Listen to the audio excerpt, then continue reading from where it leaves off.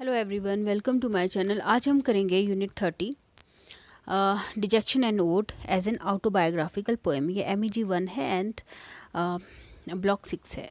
Let us start both Wordsworth and Coleridge felt almost simultaneously that their poetic powers were on the decline this unnerved them because the total identity was in being poets.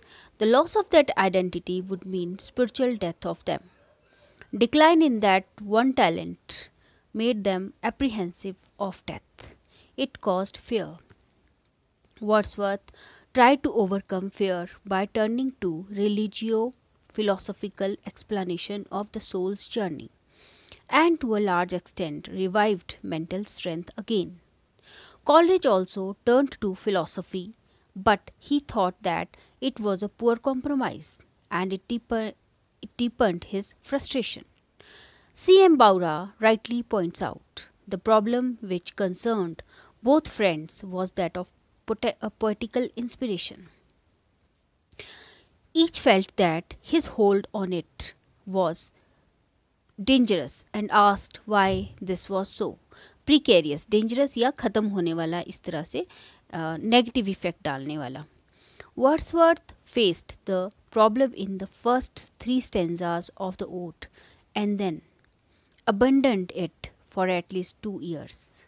Coleridge, slower perhaps to start, but quicker one he had started, told of his crisis in the poem, which he afterwards called dejection. The first full version of dejection, dejection was called Verses to Sarah.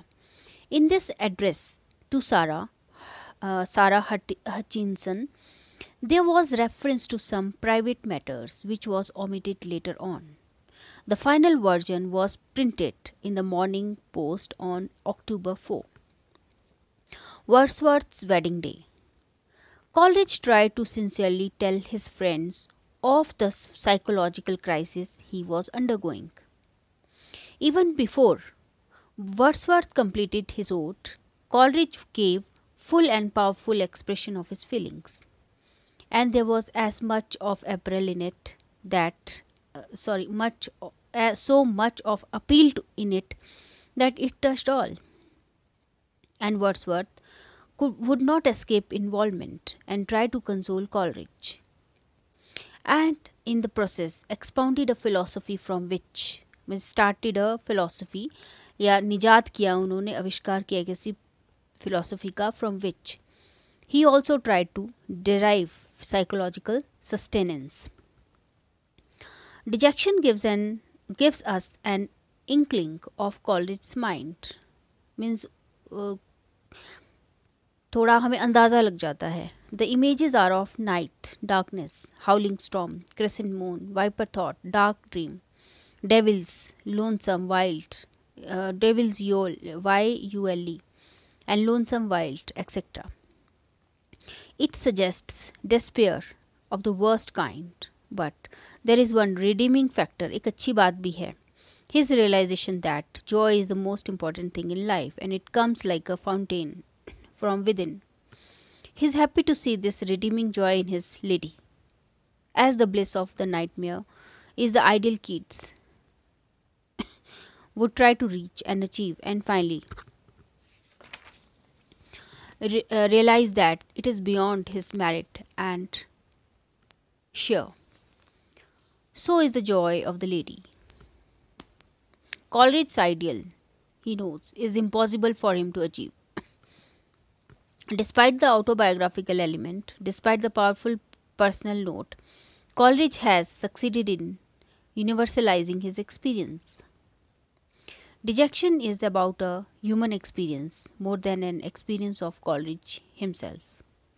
Perhaps every work of art has its origin and roots in some personal feelings and experience, but the more an artist uh, artist transcends it, the more successful his art becomes. Coleridge has found proper objective correlative for the emotion he intends to communicate.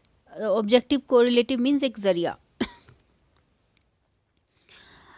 As a romantic poem, though the theme of uh, dejection and ode is the failure of romantic imagination and, sub- and subsequent grief on account of that, the poem is one of the finest examples of romantic poetry.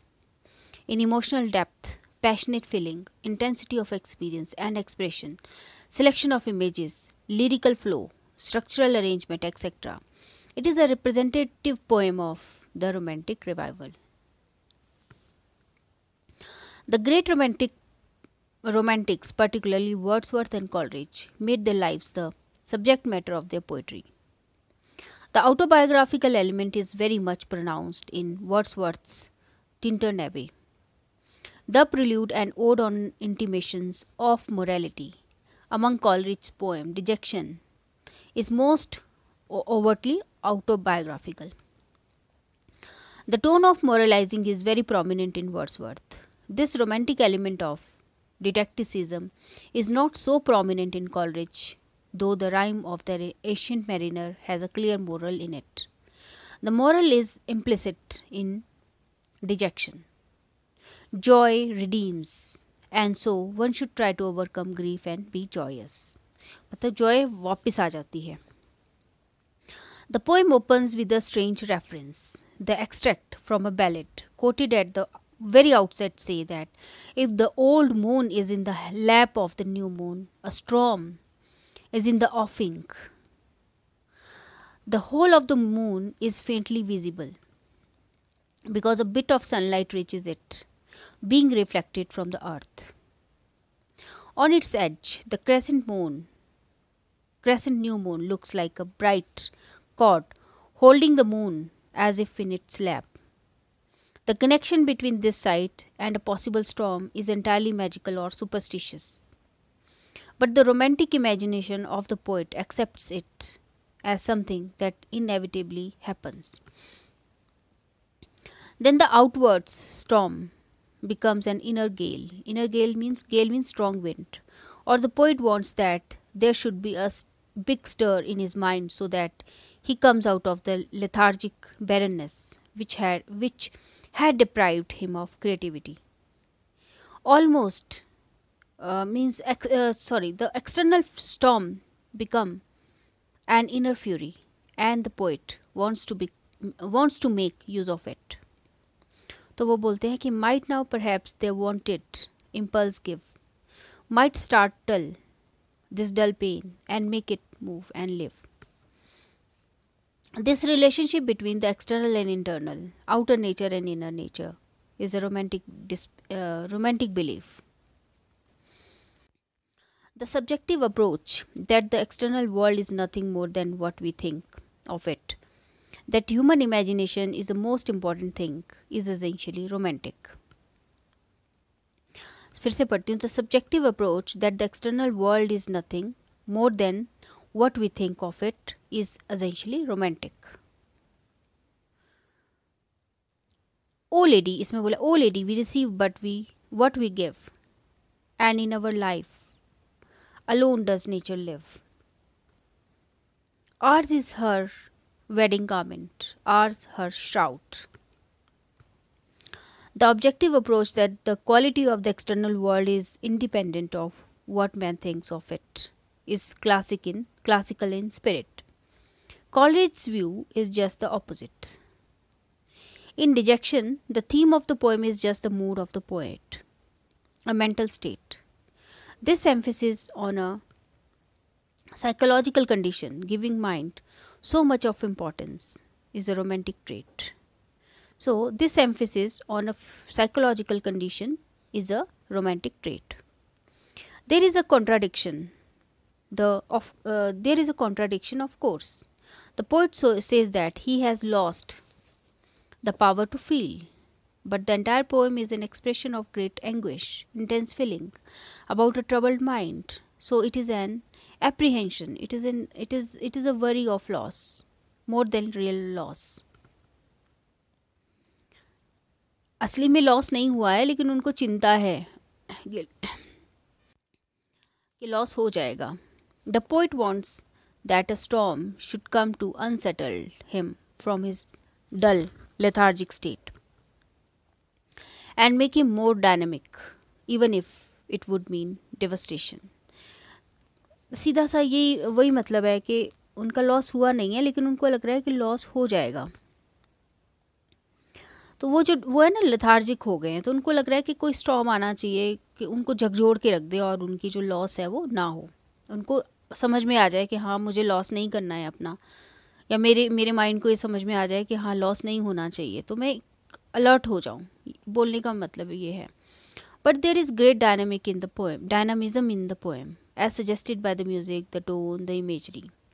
In his love for the lady, Coleridge expresses his gratitude to and love for all those human beings whose heart is full of love and joy. तो appreciation है इसमें उन लोगों के लिए जो कि प्यार से भरे हुए हैं या जॉय से भरे हुए हैं Personal appreciation turns into romantic humanism and appreciation of the basic qualities and values of life. Glorious and divine love weds us to nature, but it is undreamt of the, uh, of the sensual and the proud. This hatred for the sensual and the proud is very much in the tradition of romantic poetry. वो sensual चीज़ों को नहीं मानते हैं और proud को नहीं मानते हैं रोमांटिक पोइट्री वाले poet Coleridge, like Wordsworth in his Immortality Ode, wistfully looks back and remembers those days when things were much better, more glorious, and without any sense of deprivation. This memory of the lost paradise is romantic in spirit. The poet believes that as we move away from our uh, paradisal state of innocence, we keep on losing our spirit of imagination. We try to compensate. एक paradise lost से uh, वही है ना कि जब innocence ख़त्म हो जाती है तो एक्सपीरियंस आ जाता है तो इनोसेंस हमने लूज़ कर दी। इमेजिनेशन की पावर भी लूज़ कर दी। We try to compensate the loss with our acquisition of knowledge but there can be no compensation in this vital thing the creative imagination which enables us to discover the divine in nature In the seventh part of the poem, the poet himself becomes almost delirious, a mad lunatic, and in imagery free of all inhibitions, tries to catch the essential spirit of the wind, which can remove all viper thoughts. The sudden outburst softens down in a tragic calm at the end of the section where he refers to the tender lay of a little child. This part of the poem reminds us of the great romantic poem of Shelley, Ode to the West Wind and the final section of an appreciation of the spiritual quality of the lady whom the poet adores. The tone is now subdued, as if tempered by love, and this redemption in love, as in the ancient mariner, is romantic. Dejection then excels as a romantic poem. So so, यहाँ हमारा ये video finish हो रहा है पूरा unit finish हो गया अब अगर आपको एक्चुअली कई बार कुछ चीज़ें समझ नहीं आती ना, जैसे मैं रीड करती हूँ, आपको मेरे पिछले वीडियो आप जाके देखेंगे ना तो आपको सुनेंगे तो आपको काफ़ी चीज़ें वैसे ही क्लियर हो जाएँगी। चलो थैंक यू सो मच